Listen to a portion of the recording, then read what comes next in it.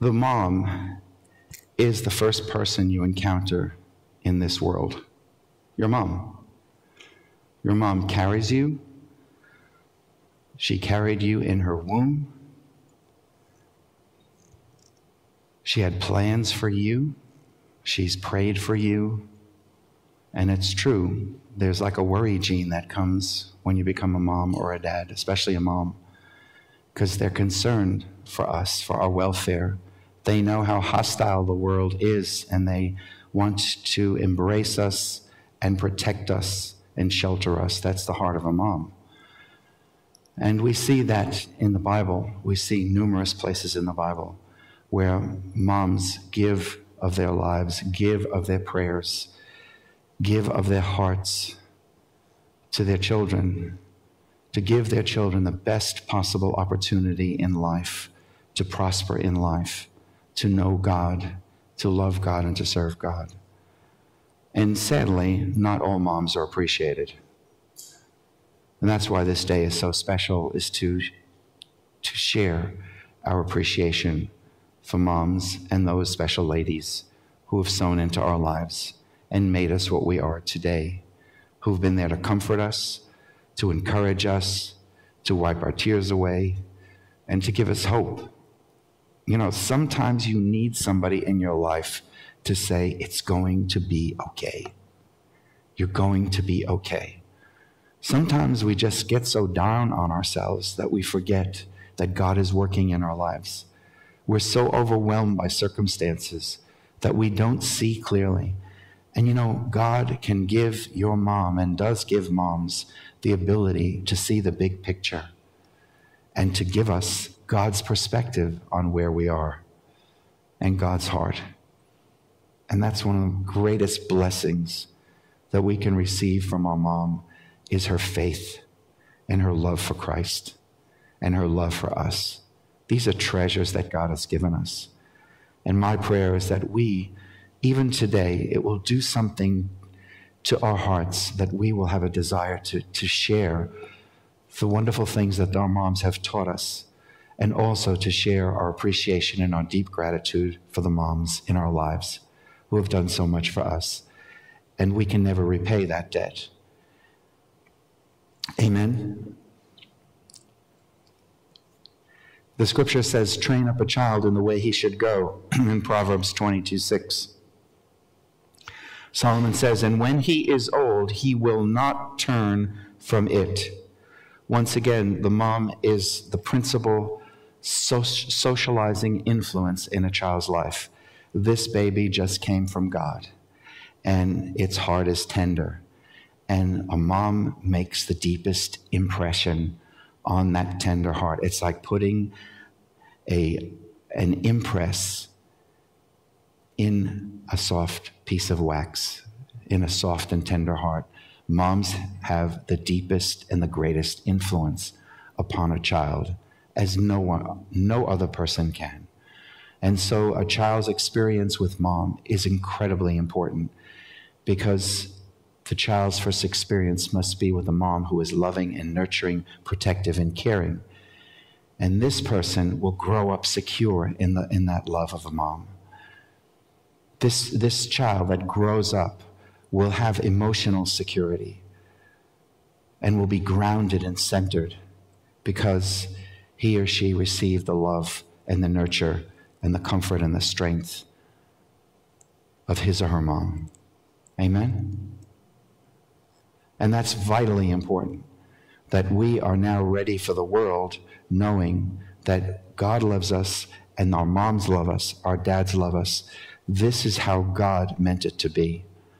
And the wonderful thing about it is that if we are deficient in any area, and we don't, we don't necessarily find that, that people are raised today in this generation in the nuclear family as God had intended it.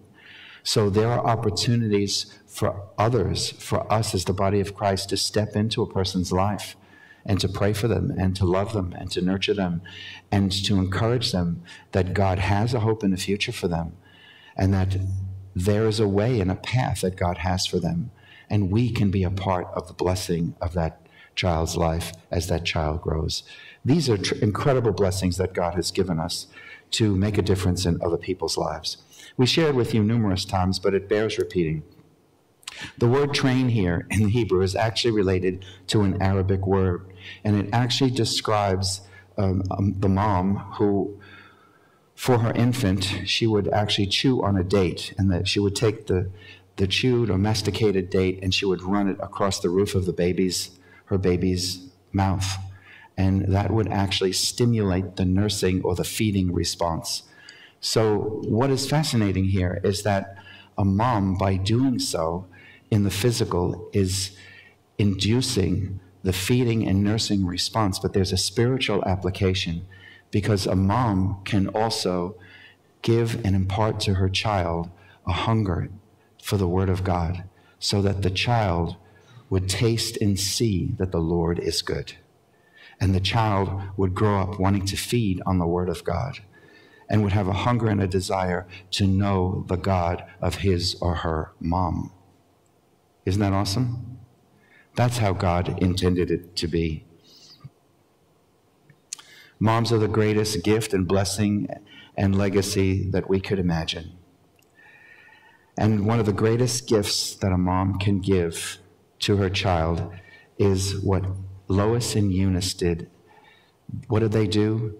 They invested themselves in Timothy. His grandmother and his mother had sown the word of God, and their faith was imparted into the life of Timothy, the spiritual son of Paul.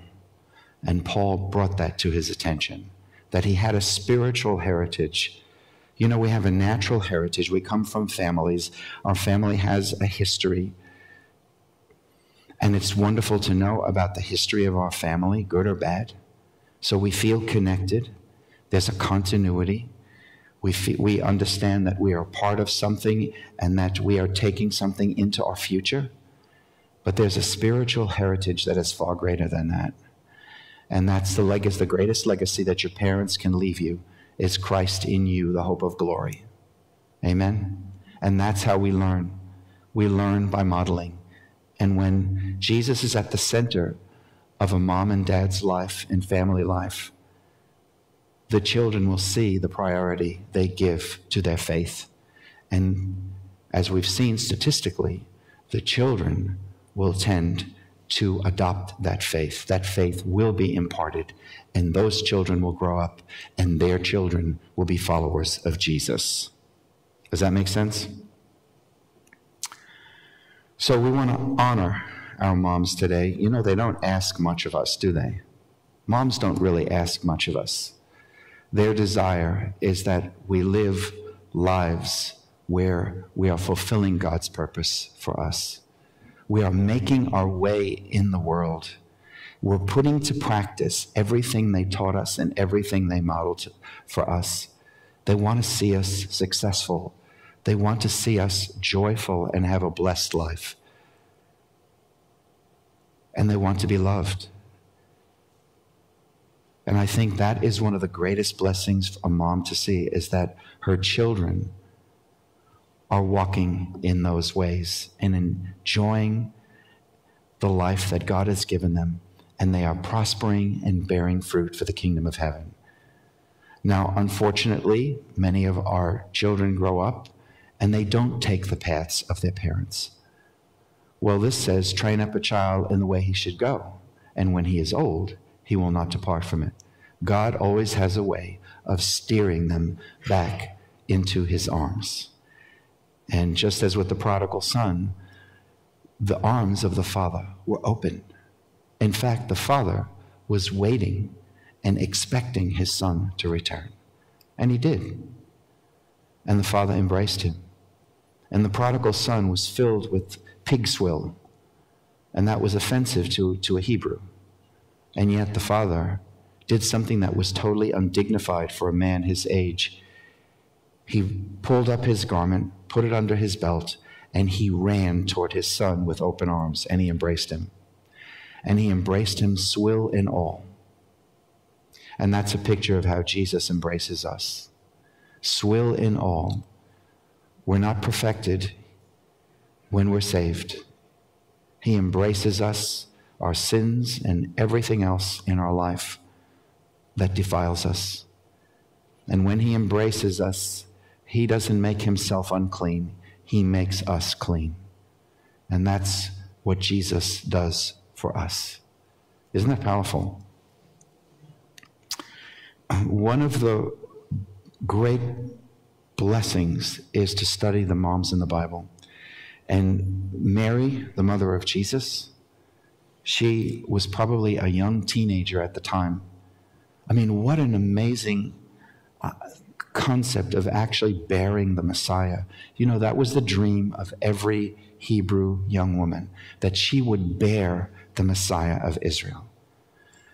And the Lord shared things through the angel with her about her son, and she kept them close to her heart. There are some things that God speaks to your heart that you, you don't even want to share it to anyone. It's between you and the Lord.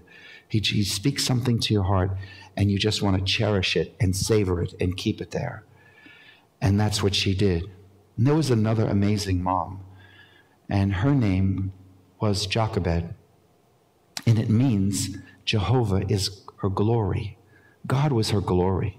She was a remarkable woman. At a time when Pharaoh was threatened by the Jews, the Hebrews were increasing in number and threatening his country, his empire. They were threatened by the Jewish people. And he called for pretty much the extermination of the young boys in Egypt. And this is what the scripture says the king of Egypt in Exodus chapter 1 said to the Hebrew midwives, whose names were Shiphrah and Puah, When you help the Hebrew women in childbirth and observe them on the delivery stool, if it is a boy, kill him. But if it is a girl, let her live. The midwives, however, feared God and did not do what the king of Egypt had told them. You see, when what God says is opposed to what the government says, you go with God. We go with what God says. We are accountable to a higher authority than government. Do we obey the laws of the government and are, and are faithful and law abiding citizens? Absolutely.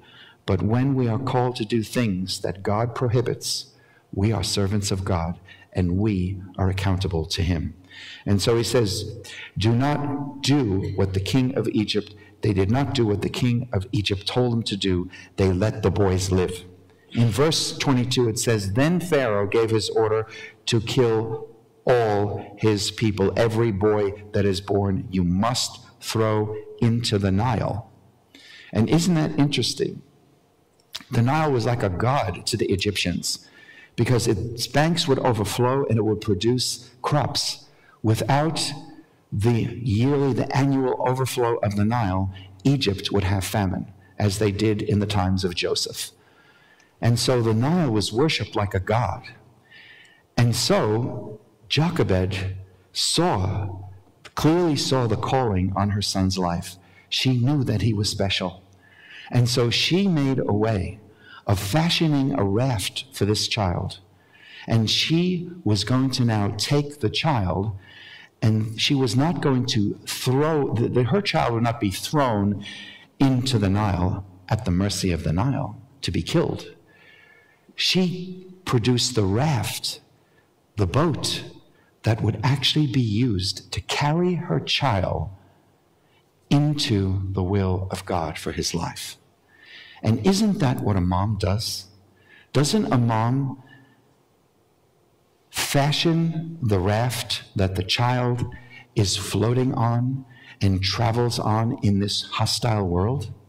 Isn't there a parallel there between Jochebed's plight and the plight of moms today?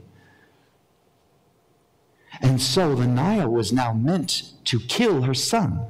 But because of her faithfulness, the very waters that were meant to kill her son are the very waters that brought her son into the will of God and she cast that little raft onto the Nile and she placed her son in the hands of God. And that raft took her son to the very presence of the daughter of Pharaoh. And she saw that boy and she knew he was a Hebrew. And she loved that boy and took Moses as her own. And he became a son of Egypt. What is fascinating about this is that she was looking for a wet nurse. And it so happens that Miriam, his sister, was near this whole episode. I mean, this was divinely orchestrated. And so she goes to Pharaoh's daughter, and Jochebed will nurse her own baby. Isn't that just like God? Isn't that amazing? And so he was part of, he was actually would have been in line for the throne of Egypt. Isn't that remarkable? And he was in the household of the Pharaoh that called for his death. You see how God can give you favor among non believers? You see, when God goes before you, he prepares the way. You have nothing to fear, you have nothing to worry about. And so Moses grew up as a privileged son of Egypt. But he now, being weaned, he spent the, the very formative and critical years of development he spent with his mother and his father. And clearly, he learned about God. He learned about his Lord, about the ways of God, and the paths of God for his life. Isn't that remarkable? God doesn't show favoritism. If he did it for Moses, he'll do it for you. If he directed Moses supernaturally, he will direct you supernaturally. You fashion that ark, you fashion that raft by sowing into your children the things of God and giving them a love and an appetite for the Word of God. And watch your children grow. Your children will grow in the grace and the knowledge of the Lord. They will grow secure in the love of God, in the secure in your love, and they will be equipped to take on the world. And as Christians, to reveal Christ to the world around them, to even a hostile world.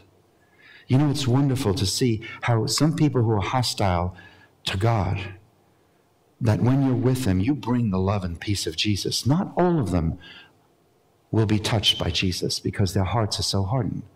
But there's no heart that God can't touch and make a heart of stone into a heart of flesh. Amen? And that's one of the most miraculous works of God, is to tra- transform the heart of a person. And we're seeing that every day. And be encouraged. God will answer your prayers and transform the hearts of people you've been praying for. Amen? Do you trust Him? Commit these people into the hands of Almighty God. And so Jochebed is, was an amazing lesson for all moms today, even in the world in which we live. How much more do we need Jochebeds in our families? Hannah was another amazing woman. She was without child, and she desperately wanted a child. And her husband had another wife who was tormenting her and harassing her because she was without child. And this woman wept bitterly. She grieved. She cried out to God. And this was for a considerable time. God has a timing for everything. And in this case, God heard her prayer. And he gave her a son by the name of Samuel. And do you know, this woman was so gracious to God that he answered her prayer, that she dedicated her child to God. That meant that the child would not be raised by her, but he would be raised in the presence of the Lord in the tabernacle. And this boy heard the voice of God clearly, the audible voice of God, because he was living in the presence of God. Isn't that wonderful? Isn't that remarkable? Do you know if Jesus lives in you, you're not only living in the presence of God, the presence of God is in you. How much more can you discern and hear the still small voice of the Holy Spirit speaking to your heart and leading and guiding you on the paths of Christ? the will of God for your life. Isn't that wonderful? This is glorious. This is the Word of God. This is the promise of God. This is available to each and every one of you that you can know God and you can enjoy the richness and the fruitfulness of this abundant life that Jesus promises each and every one of you. Amen. What is wonderful is God reveals himself as a father, but there are nurturing, nourishing characteristics and attributes that are associated with a mom. And God has those.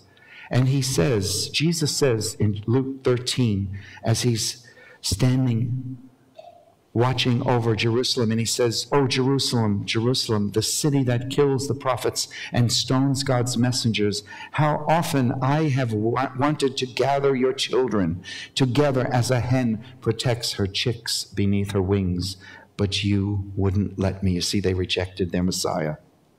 In Deuteronomy 33, let the beloved of the Lord rest secure in him, for he shields him all day long, and the one the Lord loves rests between his shoulders. This is a picture of the believer in the arms of God with his head touching the heart of God. Isn't that glorious? And so God is carrying. See, we're children of God. God is carrying us. When we are carried by God, our ear is to his heart. Do you know when a baby is born, they take the, the newborn and place it on the mother's chest? Why? Because the child is stilled and comforted by the heartbeat of its mom, because that's what it was used to in the sacred, in the safe place of the womb. Isn't that interesting? And so when you're in the arms of God, you cannot help but to hear his heart. And when you hear God's heart and you love God, your desire will be to please God and Him alone above all things. And you're going to then entrust God with all of the troubles that you have, with all the prayers that are yet to be answered, with all the hopes that may have been dashed. You see, there's no such thing as a hopeless case in God's sight because He's the God of hope. And when He is introduced into your life as a born again believer, you have hope no matter what the circumstances. Does that make sense? And so rejoice in that. So the beloved of the Lord rests in Him. You see, there's rest when we walk with God. And he rests securely. There's emotional securely, security, knowing that God loves you. You are loved by God. You are precious to God. You are the apple of his eye that means you're at the very center of his, of his eye, of his focus. He has his eye on you. He will never leave you nor forsake you. He is always aware of everything that's going on in your life, and his compassions or mercies are new every morning. Isn't that a wonderful thing to know that God is watching over you and that he is a compassionate and a loving father who cares for you and he knows what you're struggling with he knows what your needs are, and He is able and willing to help you in your time of need. This is a glorious message. Do you see why this is good news? Now, you contrast this with the bad news that we hear in the world. But this ought to give us a deep compassion for those who don't know Christ because they're lost, they're fearful, they're groping in the dark, they don't know what's ahead of them. They don't know where they came from and they don't know where they're going. But you have the light of life living in you.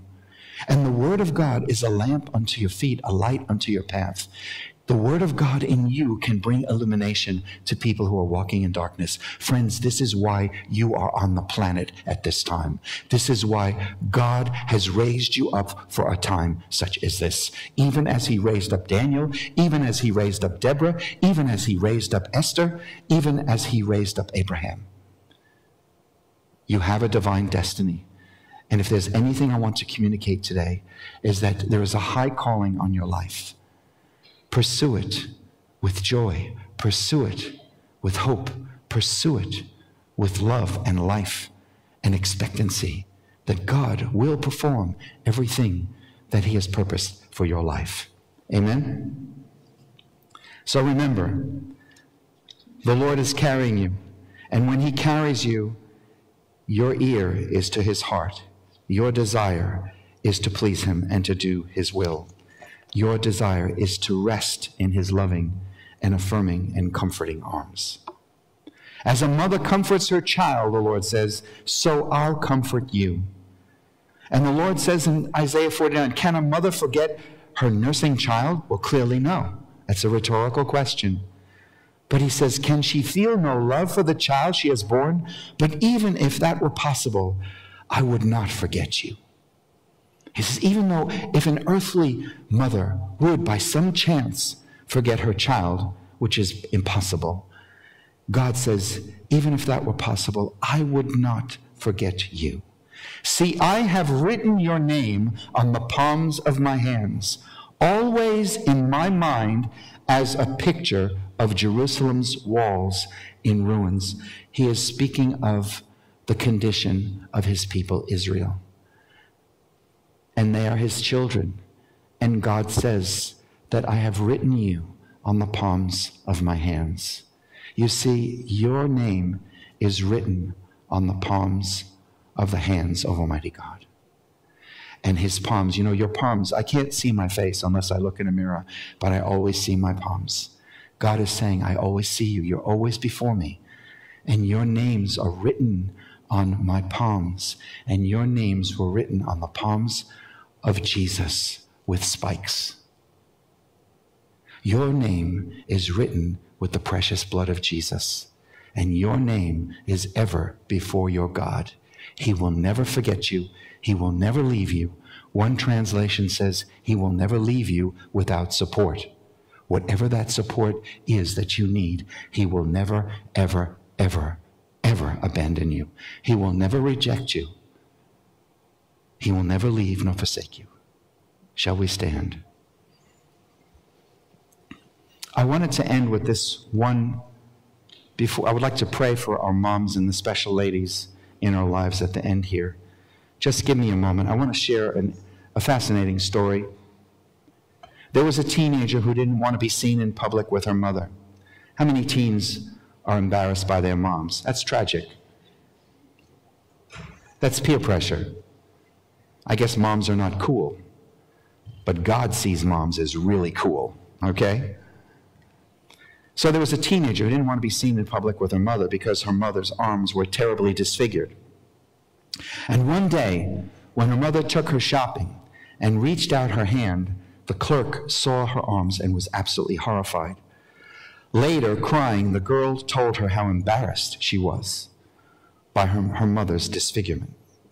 Understandably hurt, though, the mother waited before going to her daughter's room to tell her for the first time what actually happened. And this is what the mom said When you were a baby, I woke up to a burning house. Your room was an inferno. Flames were everywhere. I could have gotten out the front door, but I decided I'd rather die with you than leave you to die alone. I ran through the fire and wrapped my arms around you. Then I went back through the flames, my arms on fire.